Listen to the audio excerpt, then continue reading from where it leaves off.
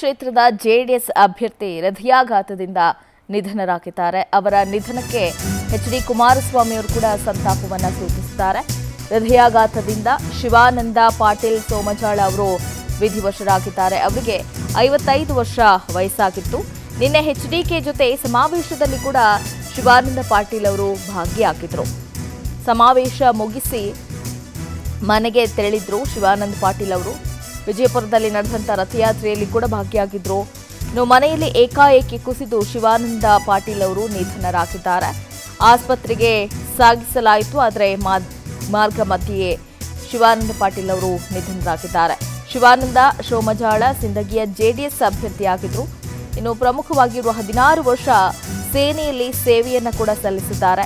ಇತ್ತೀಚೆಗೆ ರಾಜಕೀಯದಲ್ಲಿ ಶಿವಾನಂದ ಪಾಟೀಲ್ ಅವರು ಗುರುತಿಸಿಕೊಂಡಿದ್ರು. ಅವರ ನಿಧನಕ್ಕೆ ಈಗ ಸಂತಾಪ ಸೂಚಿಸಿದ್ದಾರೆ. ನಿಜಕ್ಕೂ ಆಘಾತಗೊಂಡಿದ್ದಾರೆ ಕೃಷಿಯಿಂದ ಪ್ರತಿದಿನ ಪ್ರತಿ ತಿಂಗಳು ಪ್ರತಿ ವರ್ಷ ಅಷ್ಟೇ ಅಲ್ಲ ನಿಮ್ಮ ರಿಟೈರ್ಮೆಂಟಿಗೂ ದುಡಿಮೆ ಮಾಡಬೇಕಾ? ಮತ್ತೆ ಆಗ್ತಾಡ ಫ್ರೀಡಮ್ ಆ್ಯಪನ್ನು ಈಗಲೇ ಡೌನ್ಲೋಡ್ ಮಾಡಿ.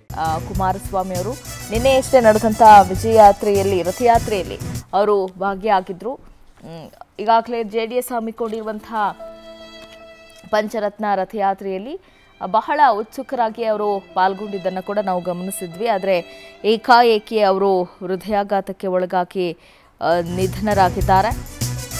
ಜೆ ಡಿ ಎಸ್ ಅಭ್ಯರ್ಥಿ ನಿಧನಕ್ಕೆ ಮಾಜಿ ಸಿಎಂ ಡಿಕೆ ಸಂತಾಪ ಸೂಚಿಸಿದ್ದಾರೆ. ಟ್ವೀಟ್ ಮಾಡೋ ಮೂಲಕ ಸಂತಾಪವನ್ನು ಸೂಚಿಸಿದ್ದಾರೆ ಕುಮಾರಸ್ವಾಮಿ ಅವರು. ಶಿವಾನಂದ ಸೋಮಜ, ಅಕಾಲಿಕ ಮರಣ ನನಗೆ ಆಘಾತ ತಂದಿದೆ. ಸಿಂದಗಿ ಜೆಡಿಎಸ್ ಅಭ್ಯರ್ಥಿ ಶಿವಾನಂದ ಪಾಟೀಲ್ ಅವರ ನಿಧನದ ಹಿನ್ನೆಲೆಯಲ್ಲಿ ಸಂತಾಪ ಸೂಚಿಸಿದ್ದಾರೆ. ಸಿಂಧಗಿಯ ಪಂಚರತ್ನ ಯಾತ್ರೆಯಲ್ಲಿ ಅವರು ಭಾಗಿಯಾಗಿದ್ರು. ಸೇನೆಯಲ್ಲಿ ನಿಸ್ವಾರ್ಥ ಸೇವೆಯನ್ನ ಸಲ್ಲಿಸಿ ನಿವೃತ್ತಿಯನ್ನ ಅವರು ಪಡೆದಿದ್ರು. ಸಮಾಜ ಸೇವೆಯ ಅದಮ್ಯ ಹಂಬಲ ಅವರಲ್ಲಿತ್ತು. ಪರಿಚಯವಾದ ಅಲ್ಪ ಕಾಲದಲ್ಲೇ ಆತ್ಮೀಯರಾಗಿದ್ರು ಅಂತ ಡಿ ಕೆ ಟ್ವೀಟ್ ಮಾಡೋ ಮೂಲಕ ಸಂತಾಪ ಸೂಚಿಸಿದ್ದಾರೆ. ಜೊತೆಗೆ ಅವರ ಪರಿಚಯವನ್ನು ಕೂಡ ಇಲ್ಲಿ ನೆನಪಿಸ್ಕೊಂಡಿದ್ದಾರೆ. ಸಿಂದಗಿ ಕ್ಷೇತ್ರದ ಅಭ್ಯರ್ಥಿಯಾಗಿ ಗುರುತಿಸಿಕೊಂಡಿದ್ರು. ಶಿವಾನಂದ ಪಾಟೀಲ್ ಅವರು, ಈಗ ಅವರಿಗೆ ಎಚ್ ಡಿ ಕುಮಾರಸ್ವಾಮಿ ಅವರು ಟ್ವೀಟ್ ಮಾಡೋ ಮೂಲಕ ಸಂತಾಪವನ್ನು ಸೂಚಿಸಿದ್ದಾರೆ. ಪರಿಚಯವಾಗಿರುವಂಥ ಅಲ್ಪ ಕಾಲದಲ್ಲೇ ಅತ್ಯಂತ ಆತ್ಮೀಯರಾಗಿದ್ರು.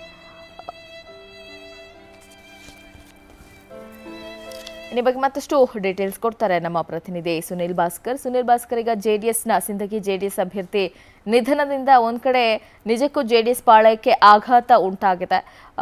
ಅವರ ಜೊತೆಗಿನ ಒಡನಾಟದ ಬಗ್ಗೆ ಕೂಡ ಎಚ್ ಡಿ ಕುಮಾರಸ್ವಾಮಿ ಅವರು ಟ್ವೀಟ್ ಮಾಡೋ ಮೂಲಕ ಶೇರ್ ಮಾಡ್ಕೊಂಡಿದ್ದಾರೆ. ಇನ್ನು ಮುಂದಿನ ಅಭ್ಯರ್ಥಿ ಯಾರು ಅನ್ನುವಂಥ ಪ್ರಶ್ನೆ ಇಲ್ಲಿ ಕಾಡುತ್ತೆ. ಜೊತೆಗೆ ಅವರ ಅಂತ್ಯ ಸಂಸ್ಕಾರಕ್ಕೆ ಸಂಬಂಧಪಟ್ಟಂತೆ ಯಾವೆಲ್ಲ ಡೀಟೇಲ್ಸ್ ಲಭ್ಯ ಆಗ್ತಾ ಇದೆ. ಖಂಡಿತವಾಗ್ಲೂ ಲೀನಾಶ್ರೀ ಏನಂತಂದ್ರೆ, ಇತ್ತೀಚೆಗೆ ಅಷ್ಟೇನು ಕಳೆದ ಜನವರಿ ಹದಿನೆಂಟರಂದೇ ಸಿಂದಗಿ ಪಟ್ಟಣದಲ್ಲಿ ಏನು ಸಿಂದಗಿ ಮತಕ್ಷೇತ್ರದಲ್ಲಿ ಬೃಹತ್ ಪಂಚರತ್ನ ಯಾತ್ರೆಯನ್ನು ಕೂಡ ಏನು ಶಿವಾನಂದ ಪಾಟೀಲ್ ಸೋಮಜಾ ಅವರು ಮಾಡಿದ್ರು. ಏನು ಪ್ರಥಮ ಜೆಡಿಎಸ್ ಅಭ್ಯರ್ಥಿಗಳ ಪಟ್ಟಿ ಬಿಡುಗಡೆ ಆಯ್ತು. ಆ ಪಟ್ಟಿಯಲ್ಲೇ ಏನು ಸೋಮಜಾ ಅವರಿಗೆ ಟಿಕೆಟ್ ಅನ್ನ ಕೂಡ ಘೋಷಣೆ ಮಾಡಲಾಗಿತ್ತು. ಅಷ್ಟೇ ಅಲ್ಲದೆ ನಿವೃತ್ತ ಸೈನಿಕರಾಗಿರುವಂತಹ ಸೋಮಜಾ ಅವರು ಸಾಕಷ್ಟು ಆಕ್ಟಿವ್ ಆಗಿ ಮತಕ್ಷೇತ್ರದಲ್ಲಿ ಏನು ಅವ್ರ ಟಿಕೆಟ್ ಘೋಷಣೆ ಆಗೋಕ್ಕಿಂತ ಮುಂಚೆ ಕೂಡ ಓಡಾಟವನ್ನ ಮಾಡ್ತಾ ಇದ್ರು. ಈ ಬಾರಿ ನಾನು ಜೆಡಿಎಸ್ನಿಂದ ಟಿಕೆಟ್ ತರ್ತೀನಿ. ನನಗೆ ಸಪೋರ್ಟ್ ಮಾಡಿ ಎಂಬ ಮಾತನ್ನು ಕೂಡ ಪ್ರತಿ ಹಳ್ಳಿ ಹಳ್ಳಿಗೆ ಹೋಗಿ ಸಂಚಾರ ಮಾಡುವ ಮೂಲಕ ಜನರಲ್ಲಿ ಸಪೋರ್ಟ್ ಅನ್ನ ಕೂಡ ಕೇಳ್ತಾ ಇದ್ರು. ಜೊತೆಗೆ ಟಿಕೆಟ್ ಅನೌನ್ಸ್ ಆದ ಬಳಿಕ ಒಂದು ತುಂಬಾ ಆಕ್ಟಿವ್ ಆಗಿ ಮತಕ್ಷೇತ್ರದಲ್ಲಿ ಓಡಾಟವನ್ನ ಮಾಡಿದ್ರು. ಅಷ್ಟೇ ಬೃಹತ್ ಪಂಚರತ್ನ ಯಾತ್ರೆಯಲ್ಲೂ ಕೂಡ ಸಾವಿರಾರು ಸಂಖ್ಯೆಯಲ್ಲಿ ಜನರನ್ನು ಕೂಡ, ಏನು, ಇವ್ರು ಸೇರಿಸಿದ್ರು. ಈ ಹಿನ್ನೆಲೆಯಲ್ಲಿ ಜನವರಿ ಹದಿನೆಂಟರಂದು ಸಿಂದಗಿ ಪಟ್ಟಣದಲ್ಲಿ ಬೃಹತ್ ಪಂಚರತ್ನ ಯಾತ್ರೆಯ ವೇದಿಕೆಯಲ್ಲಿ ಕೂಡ ಮಾತನಾಡ್ತಾ ಹೇಳ್ತಾ ಇದ್ರು. ನನ್ನ ಬಗ್ಗೆ ಯಾರಾದ್ರೂ ಒಂದಿಷ್ಟು ಚಾಡಿ ಹೇಳಿದ್ರೆ ಅದನ್ನ ನೀವು ನಂಬಕ್ ಹೋಗ್ಬಿಡಿ ಎಂಬ ಮಾತನ್ನು ಕೂಡ ಸ್ವತಃ ವೇದಿಕೆ ಮೇಲೆ ಶಿವಾನಂದ ಪಾಟೀಲ್, ಸೋಮಜಾ ಅವರು ಮಾತಾಡುವಂತ ಸಂದರ್ಭದಲ್ಲಿ ಹೇಳ್ತಾ ಇದ್ರು. ಅಷ್ಟೇ ಅಲ್ಲದೆ ಕುಮಾರಸ್ವಾಮಿ ಅವರು ಮಾತನಾಡ್ತಾ, ಮಾತನಾಡುವಂತ ವೇಳೆಯಲ್ಲಿ ಕೂಡ ಅವರು ಒಂದು ಸ್ಪಷ್ಟನೆಯನ್ನ ಕೂಡ ನೀಡಿದ್ರು. ಯಾರು ಏನೇ ಚಾಡಿ ಹೇಳಿದ್ರು, ನಾನು ನಿಮ್ಮನ್ನ ನಂಬಿ ಟಿಕೆಟ್ ಕೊಟ್ಟಿದ್ದೀನಿ. ಯಾರು ಮಾತಿಗೂ ಕಿವಿ ಕೊಡಬೇಡಿ.